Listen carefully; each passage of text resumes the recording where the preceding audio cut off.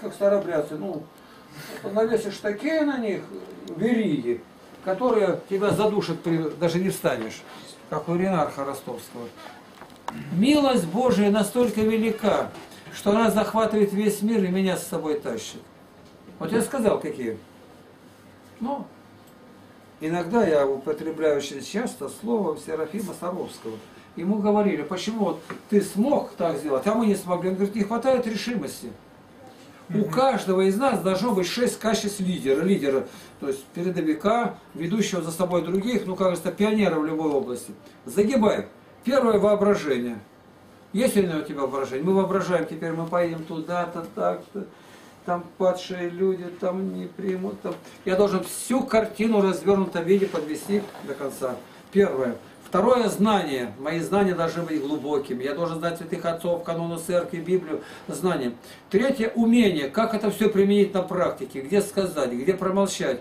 Как притворить это в жизнь. Четвертое качество – решительность. Я сказал, поеду, приобретем грузовик, а денег нету. Ну нету. Нету, я уже к вечеру достал деньги. А ведь это речь идет не 200, не 100 тысяч. Мы купили. Дальше. Того нету, Евангелия нету где-то. Будут, а как? От, откуда? Я же молюсь. И вдруг открывается в Иркутске ответ приходит. Решительность.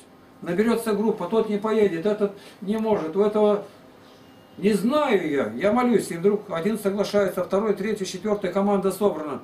И вот мы все. Ну, конечно, я накопил книги свои. Представьте, автор приходит, дарит. Не просто дарит, а автор. Это, это совершенно другой нюанс. Ну, это мой труд. Ты сделай по-другому как-то. Там, не книги напиши или набери, или я не знаю как. Но у меня именно вот так. У меня мощнейшая подготовка, тыл. Все знают, все молятся. И э, не, не нравится пятое качество, но оно должно быть беспощадность. Так я христианин, ты должен быть беспощадным. А к чему беспощаден? К разгильдяйству, к неиздержанию слова. Мы с тобой договорились. Почему тебя дома не было? А у меня жена Лея. Я вас сметаю с дороги. Сиди с ней с женой, держись за юбку. Мы решили ехать. И к этим, которые не держат свое слово, я должен быть беспощаден, чтобы спасти остаток корабля. Понял? Я должен быть беспощаден к самому себе, к своим недостаткам приглядываться. Ну и последнее, труднее всего у людей приобретается, шестое качество – привлекательность. Привлекательность образа лидера. Вот меня сейчас нету. Меня качеством этим Бог наделил. Меня нет в лагере. Но все там идет так, как я назначил. Я постоянно в эпицентре событий. Да деревенское собрание там идет, нападает, нападает там Володя Устинов, этот, не, не, не, не прием. А я в эпицентре собой, в первую очередь на меня нападают. А меня там нету. А уж Валя там все позвонит. В лагере ли, я сейчас где-то ушел, вокруг меня в интернете все вращается вот так вот. Меня там нету. Привлекательность образа. Она достигается на коленях. У меня жесткий подход ко всему. Я люблю треугольник. Треугольник самая жесткая система, которая никуда не падает. И вот эта троичность, триада, она должна у меня проявляться с утра до вечера. Мы выезжаем. Там начинает под ногами кто-то путаться. Я прошу отодвинуться. У тебя нет, значит, я обязан тебя силом сдвинуть. У нас препятствий немало бывает. Вот Сережа заходил с собакой. Мы два раза чуть не расстались. Один раз я его полностью отстранил. Он начал осознавать, но я не принимаю. Там, тогда он через батюшку ему подсказали. Батюшка начал ходатайствовать. И, на пустяках возникает и все. Мне это не надо. Я беспощаден в этом. Тактика выработана. Вот сейчас, сейчас куда поедете? Без него я не могу ни одного и сказать. Вот они меня спрашивают, никак, Николай. Он за рулем. Сейчас карта, мы ее раскроем. Он назначит, тут мы будем тогда решать, как лучше. Без него я не могу шагнуть. Потому что я признаю его приоритет. Давай. Даю, чело... бумагу записать.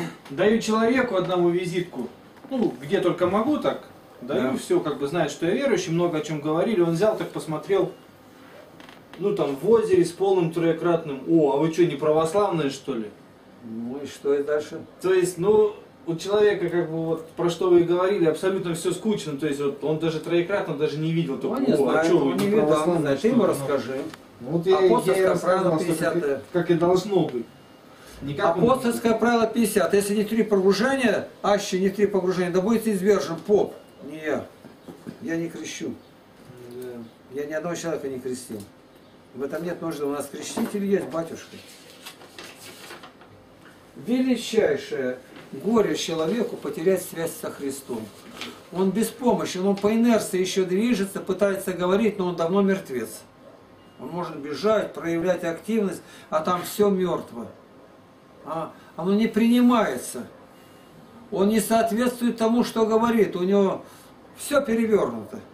Вот он, диакон, разобрались, уже три года не причащается. По нашим правилам, если в течение года человек не причащался, он обязан стоять соглашенными.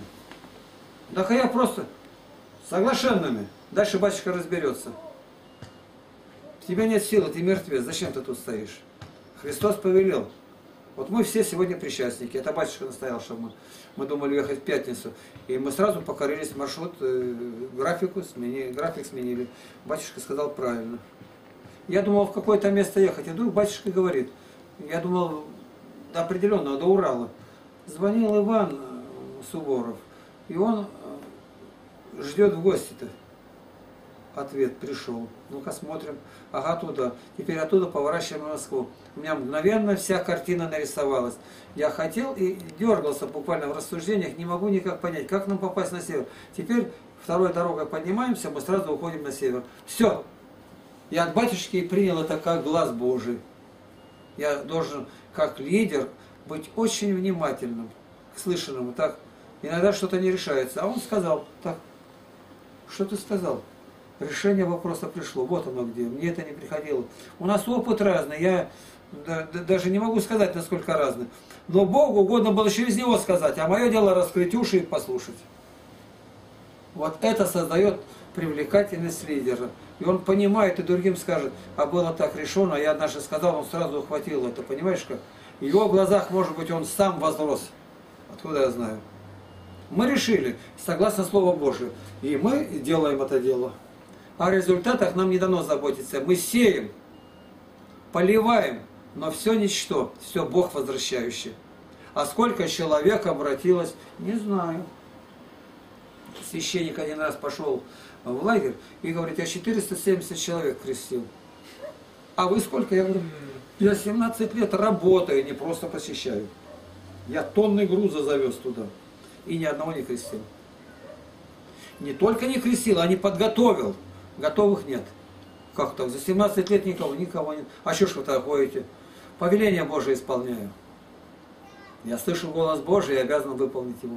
И в конце молитвы мы останавливаемся, молчим. Господи, говори, слушай трап Твой.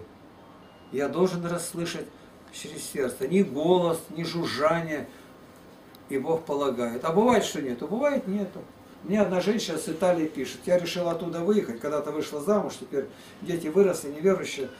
Вот выезжать мне или не выезжать? Я слышала, вам Бог отвечает. Да, мне Бог отвечает. И вы могли бы мне сказать? Могу. А когда? Не знаю. Проходит месяц, она звонит. Опять. Ну что? Я говорю, ничего, ответа нету. Я каждый день взываю к Богу, Бог молчит. А когда ответит, откуда же мне знать? Бог не, не, мне не доказывает. Она еще однажды, и опять. Ответ пришел или нет? Я говорю, нет. Только ответил нет, стал на молитву, и ответ поступил. Я сразу раз и в Италию. Ответ поступил. Ответ полученный, но ты его должна выполнить. Вот ты спрашивала, теперь ты от меня ждешь как проводник от Бога. Вот слушай, вот место Писания, я показываю премудрость Соломона, я тебе этот стих отдаю, я своего ничего не сказал. Но ты с этим стихом теперь пойди к духовнику своему священнику, предложь на рассмотрение, и как он скажет, так поступи. Ты понял меня какой? Я его не знаю, батюшка, она к нему может плохо относится. Я сделал все по ранжиру. Не затронул его благодатности, надал место Писания. Я не сказал, выезжай или не выезжай. Мне не дано это. Мне положено на сердце, что этот стих относится к ней. В данной ситуации он на первом месте. А теперь иди к батюшке рассуждай. Все, я отошел. Теперь буду молиться, чтобы батюшке Бог положил на сердце, как правильно ответить. Я работаю очень осторожно и медленно. И люди, которые знают, другой раз, ну, я вопрос такой вроде, ответа нет, ну, личного вопроса, ответа нет. Ну, вот я задаю вопрос, а вы не отвечаете. Почему? Потому что я не молился. Я не могу ответить. Я ответить могу, но я отвечу от ума. А тебе-то ты пришел не за моим умом, а за Божьим, наверное, ответом, да. А у меня ответа нету. Понятно? И это все создает шестое качество привлекательности лидера. Меня не будет, они будут вспоминать, как он осторожен был, это у Памбы. Три месяца проходит, брат прочитал его одно место Писания и говорит, хочешь видеть дни благи, удержи язык свой от зла и уста свои от лукавых речей. И он говорит, брат, а что ты на занятия это не ходишь? Он говорит, я еще эти слова не проглотил. Я каждый день учусь молчать и никого не судить. И три месяца. А еще, говорит, во второй класс переходить, когда я первый не прошел еще. Это Памба сказала, ты этого не знаешь, потому что жития не читал. Но с сегодняшнего дня ты уже знаешь, запоминай это. Это не библейский персонаж. Но он у православия святой. А каждый призван быть лидером. Каждый. Каждый. Абсолютно каждый. Ты должен вести себя, и ты сам для себя лидер. У тебя есть жена, ты ей глава будешь. А когда ты лидером будешь учиться-то? У тебя есть дети, а нет, ты будешь вести. Ты идешь в мире, в автобусе, ты лидер для всех. Примером должен показать. Первый, кто пришел, кому свидетельствуешь, ты лидер. Лидер означает лидер вести. Вот и веди. А жена в чем лидер будет? Не, не жена, то у тебя Ты. другое, с родители, Нет. друзья, близкие. Иоанн Златоуст говорит, пришел ты из церкви, не спеши там на пироги-то, а ты что слышал, передай жене, слугам, а жена передаст служанкам. Она передаст. Ты обязательно найдешь тех, которые желают слушать. В поезде, в вагоне, едешь где-то, и разговор заведи. Там у нас был один такой, как юродивый в Пензе. Его звали Мики, Микиша. Никишенька. Видимо, его звали Никита. Ну как, Никишенька, поживаешь там? А все знали в городе, он как юродивенький такой-то, а он умный, умный. Он отвечает, да Бог велит и дальше жить так, чтобы только спастись. Я гляжу, ты шляпу новую купил. Он говорит, да я на шляпу меньше внимания обращаю. Я смотрю, кто под шляпой находится, кого она придавила. Мы пришли, у него Марфа. Марфуша, я гостей привел. Дом полный всегда, у него все друзья. Сел, ну Марфуша угощает с гостями, и я гость.